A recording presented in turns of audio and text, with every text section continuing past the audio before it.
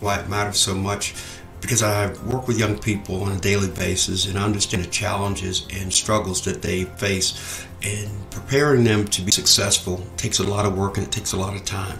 But if we can instill those uh, values and those morals and those skills early, then they can nurture those, and as they mature, so go those skills.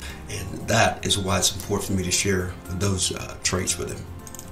I'm Coach T, and I am here to educate, motivate, and support. Thank you so much for the opportunity.